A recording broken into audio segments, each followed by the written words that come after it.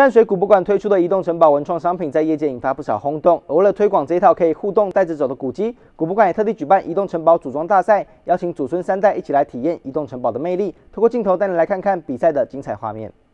哨声响起，参赛者认真的研究盒子里的零件。这里是淡水艺术工坊。淡水古博馆为了要推广新推出的文创商品，五款古迹的移动城堡，也特地举办组装大赛，现场气氛相当热络。用任何的方式啊，然后用教育的意涵。然后传达给每一个人，用不同的方式。所以呢，在这个组装的过程呢，呃，可以体会到整个古迹的场景。那其实它还没组之前呢，它就是一本的故事书，它本身就是一本故事书。组装起来呢，哈，它就是一个三 D 的模型组。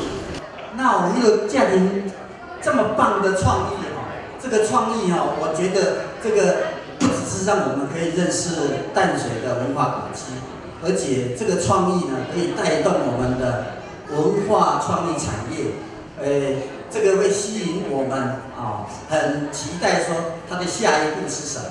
这次推出的五款移动城堡，不但有淡水古博馆管理的红毛城护卫炮台小白宫，更是有真理大学理学堂跟淡水隐山寺。除了动手亲手做的乐趣之外，更有绘本故事的引导跟 QR code 的介绍。精美的产品也让许多参赛者赞不绝口。对啊。就是让大家认识淡水的古迹这样子，对。嗯，因为觉得可以亲近古迹，然后又有这么好的文创这个模型，所以想来参加，带小朋友，而且跟妈妈一起可以这个亲子同乐这样子。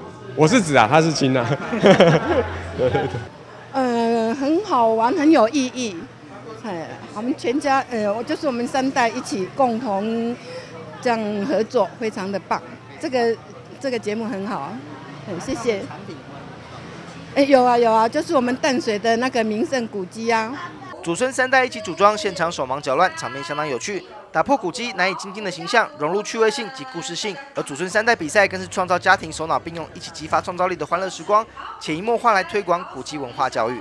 记者陈博伟淡水采访报道。